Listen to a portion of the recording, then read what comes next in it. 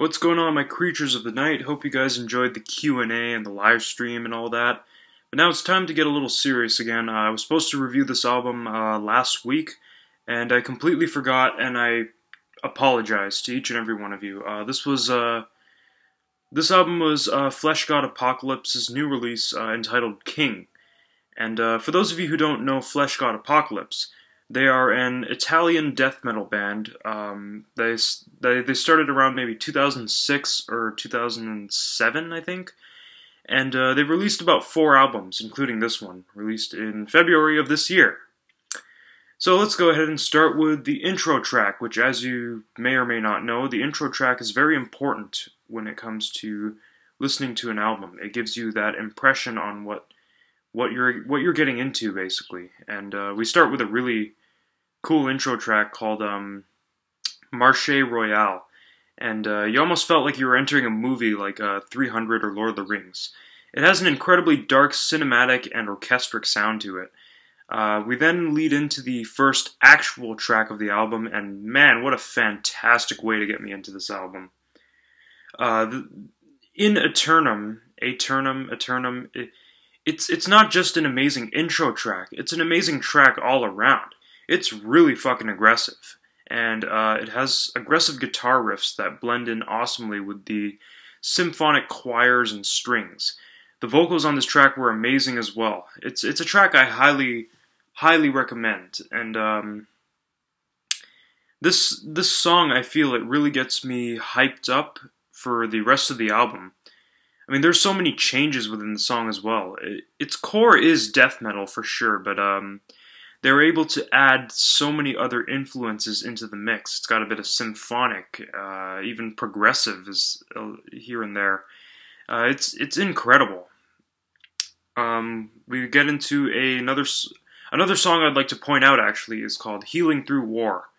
Uh, it starts with a really aggressive, slower paced riff, but it's definitely a headbangers track. Uh, it's one of my favorites off the album. You know, it's got that it's got that pure aggression, that pure evil, that pure darkness. That's that's all I re- really can say to describe this song. Uh, you, if you're gonna listen to this album, this is one of the songs that you really got to listen to. You know. Um, the song The Fool has this little intro with a harpsichord that really had this classical style to it. Um, a bit, bit of a classical feel, you know, kind of like a Bach or Mozart, even, which was.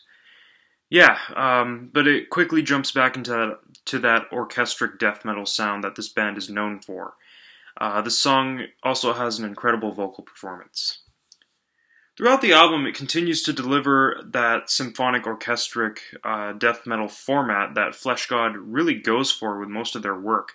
You even have the incorporation of the female opera vocals here and there um, in songs such as Cold as Perfection, which I thought was really cool. Um, but we eventually have a major change in the album with the song Para- Paramour, uh, which really just.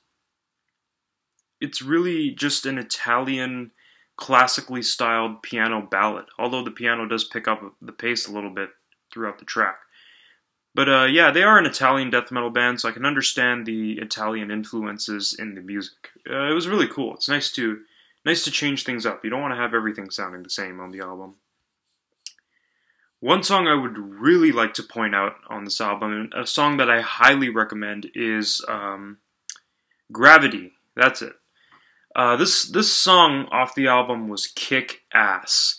They really delivered and gave it their hundred percent with this song. It's it's this, it's the song that you need to hear on this album. I can only I can honestly call this song symphonic death metal, and this is a symphonic. This is symphonic death metal done at its absolute best. It has the aggressive guitar riffs that harmonize amazingly with those evil, dark symphonic choirs. Not to mention, it has an incredible guitar solo and some really cool keyboard stuff happening in the mix as well. After that, there's a few more tracks, and uh, we end with the song "King," which is uh, it starts with a it's basically another classical piano melody. The overall mood of the piano is quite melancholic and depressing, which I found really cool. It's actually an awesome way to end the album. Uh, might I say that this album altogether was fantastic. Probably one of the best metal albums that I've heard in 2016 so far, uh, next to a f- couple others. Uh, this album was awesome, man. Perfect combination of symphonic metal and death metal. And uh, that's all I really got to say about this album. Uh, you, you, gotta you gotta listen to it though. It's it's fantastic. Um, it really shows uh, Fleshgod at their absolute best, and uh, it's a great album. And got nothing bad to say about it. I will say though that a lot of the songs did have similar sound to it, but that's kind of what Fleshgod goes for, and that's kind of what you expect. So there's no there's no negative uh, input towards that. But thank you guys for watching my Creatures of the Night, and uh, rock on.